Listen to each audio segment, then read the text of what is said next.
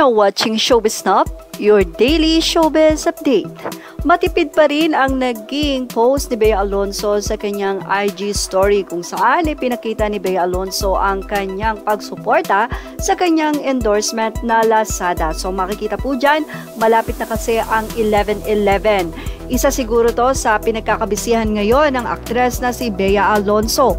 Kaya naman mukhang ang kanyang uh, Papa Doms muna ang nag-aalaga ng kanilang mga baby na sila Walter at Chico. Kung makikita nyo, eh panay nga ang post ni Dominic Roque, mapa-exercise man or ano man ang ginagawa niya, ay nandoon at kasakasama niya si Walter. Wow!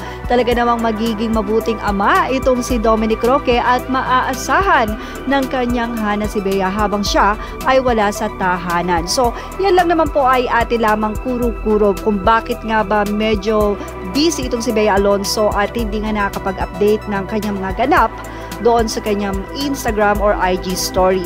Matatandaan na ilang araw nga na medyo walang IG story itong si Bea Alonso pero marami na nga ang natuwa na ipinakita niya nga ang 11-11 show na kung saan makakasama niya dito ang mga kapwa kapuso star na sila Alden Richards at Maine Mendoza. Samantala makikita naman ang uh, naging IG story ng dalawa at nitong si Papa Doms. Narito po at ating ibahagi ang napaka-sweet na Papa Doms sa kanyang anak na si Walter.